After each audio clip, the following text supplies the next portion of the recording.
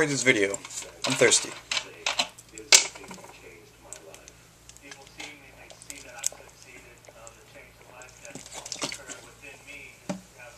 Fuck.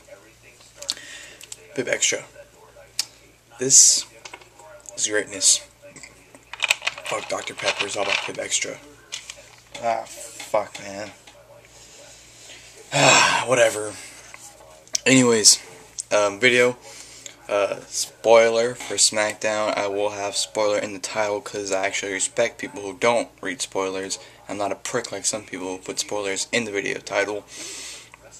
Um, if you haven't watched, well, if you don't want to be spoiled, don't watch the video. Wait till after SmackDown to watch it or something. Or if um, you did read the spoiler, go ahead and watch it. So, anyways, by the way, SmackDown. I don't see why people watch SmackDown. I honestly don't see why people watch SmackDown. Your only complaint is it's on Friday nights, man. Who stays on Friday nights to watch wrestling? Okay, well, you realize that every Friday morning, SmackDown is uploaded on YouTube. I remember because I have to wake up for school, you know, I go about 6.30, take a shower, and I go on YouTube, and it's already up. So I'm like, you know, I watch the moments, like, someone did new, like, theme, you know, I'll watch that. Whatever, so it's up in the mornings. You know, their YouTube channel, WWE Fan Nation, uploads it after it's over. So it's, you know, up, so you can watch it, you know, uh, Saturday morning or something, Saturday if you're bored or something or you DVR it, so you have no excuse not to watch the show. But uh, sorry about that little rant there. By the way, one more thing. Um, if anyone has a flip cam HD camera, I'm sorry, I got a burp and come out. there we go. Sorry about that. And if you have like one of those rechargeable battery packs that you buy with it, does anyone have any problems with theirs? Because I'll put the camera on my computer and it will charge and it'll say it's fully charged but when I take it out it's only like a quarter full battery so I'm like what the fuck? So if anyone can help me out on that you know thank uh, thank you but if you can't whatever. Anyways this is the video rambling on now. Alright sorry about that. So in SmackDown there's a segment. Michael Cole's in the ring and it brings out the SmackDown Money Bank ladder match winner Daniel Bryan Cole basically is like, I don't like the fact that he won, I think it's a fluke that he won, blah blah blah. Daniel Bryan tells him he doesn't care Michael Cole thinks. Then Daniel Bryan goes on to say that he's gonna be the first person to ever name the day he's gonna cash in on because apparently has never heard of RVD. Uh, I don't know if I read that wrong or something. If this like dissed RVD or he just says he never heard of him from what I read, which I thought was kind of funny because uh, you know John Cena made the TNA reference on Raw, and now Daniel Bryan making you know RVD TNA reference on SmackDown. That's just it's getting crazy.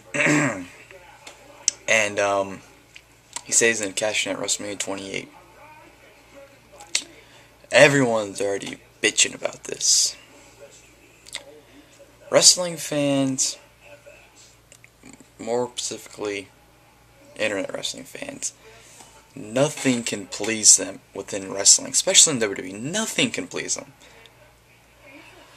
Okay, people were bitching and complaining that they're tired of seeing all these cheap cash-ins, and they want to see, you know, a normal cash-in, like, one-on-one, with, like, no cheap cash-in. They're 100% fully, you know, they're healthy, they're ready to go, like, a normal match, not a cheap cash-in. You get that, and you start complaining.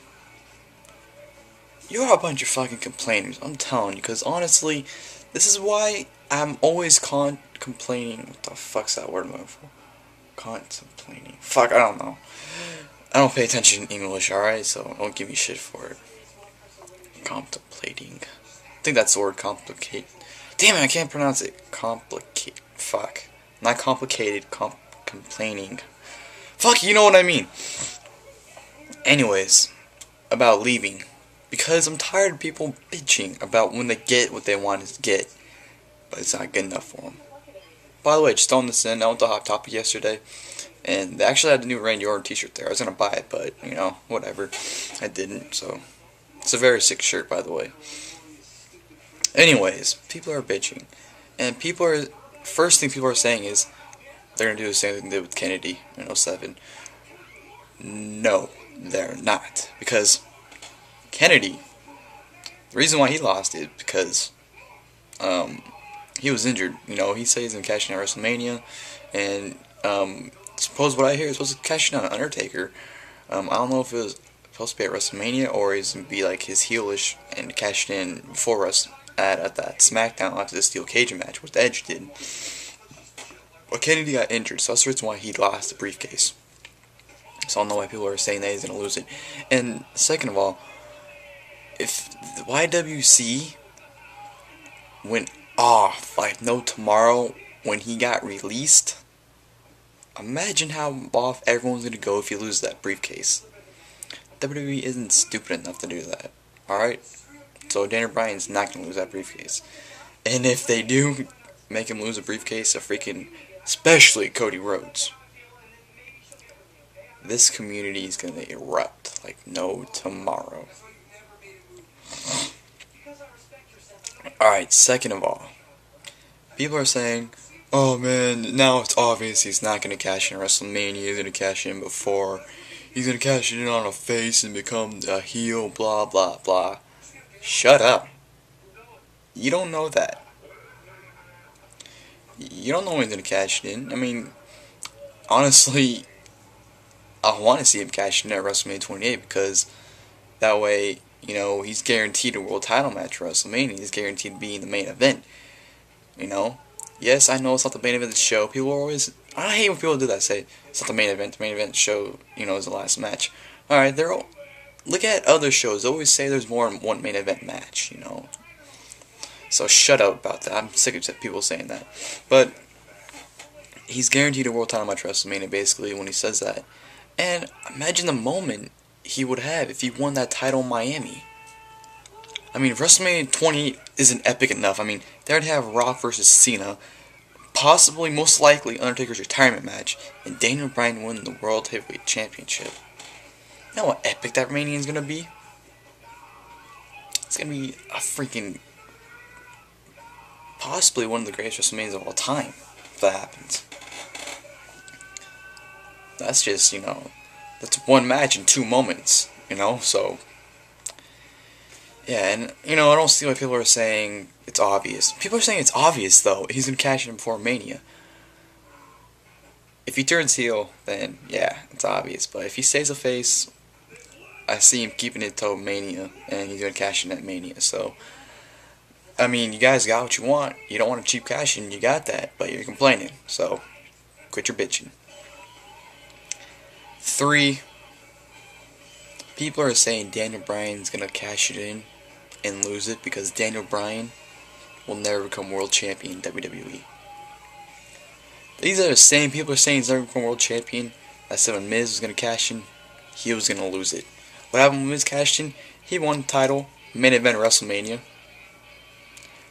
Just three, four years ago, everyone was saying that Miz would never become world champion. Look what the guy has accomplished within the year on the title. Main event WrestleMania. If Miz can do that, I'm pretty damn sure Daniel Bryan can do it. And people are saying Daniel Bryan is not going to do it because he doesn't have mic skills, he doesn't have the look, he's not over with the crowd. Alright. Mic skills, he does have mic skills. He saw a promo he did at Michael Cole NXT. People are saying, well, he did a promo on Michael Cole. I don't care, that's a promo bag of chips. That was an epic promo. Uh, you know, if if WWE gives him a mic and go says, go out there and do what you want to do with the mic, he'll I guarantee he'll cut a great promo. Heel or face. He doesn't have the look. Um, actually, he does. I mean, that's a badass picture of him the U.S. title right there. Come on, this guy. You know, I'm not gay. All right, I'm not gonna say you know he's the hottest guy alive. You know, I'm not like that. If anything, I'm gonna say you know Maryse is the fucking hottest diva right now. That's just my opinion. But in the look, I'm not. I'm not even gonna talk about the look because to me he has the look. You know, and people are saying he's not over. The guy has been in the company for a year and a half. There are people in the company who've been in the company for years and it's not over. Yoshi Tatsu, his ass ain't over. He's been in the company for like fucking two or three years. David Hart Smith, he ain't over. Tyson Kidd, I know he's a heel, but he ain't over. There's tons of people are on over.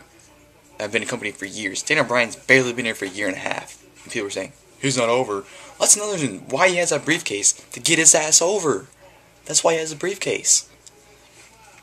God, like, uh, freaking, yeah, ADA says in Skype call, they give the briefcase to guys get over. They give the guys who are already over, then it's basically pointless. I mean, it's me, ever since Sheamus got that push in 09, and if they don't, they're jobbers. They're jobbers. Wade Barrett last year. Didn't win the title. Everyone, he's a jobber. He's a jobber. Del Rio didn't win the title Mania Extreme Rules. He's a jobber. Everyone just needs to learn how to be patient with these pushes. If they push everyone to the top at once, who are they going to push after them then? I mean, why can't they, you guys, let them build guys like Miz again?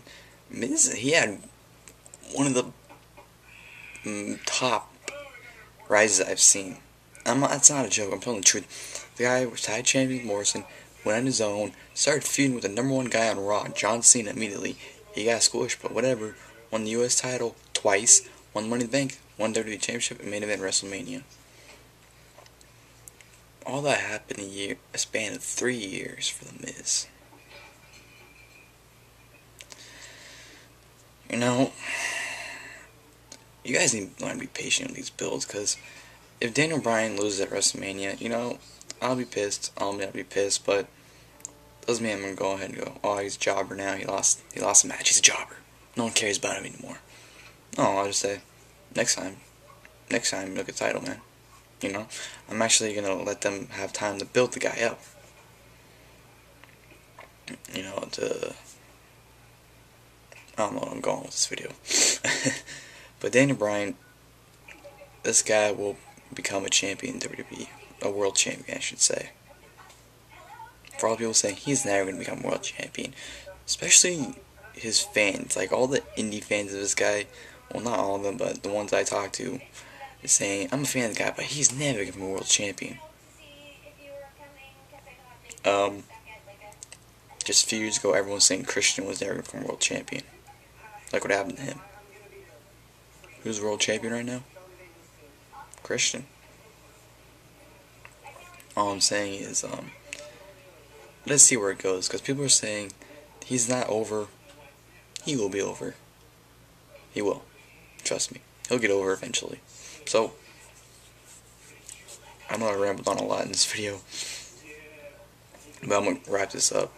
But all I'm going to say is Daniel Bryan, Ganshin Mania, I'm in for it. A lot of people are not. Are not. People are not. They're a bunch of whiny bitches. I swear. All you do is complain, complain, complain. So I'm out, guys. Thanks for watching.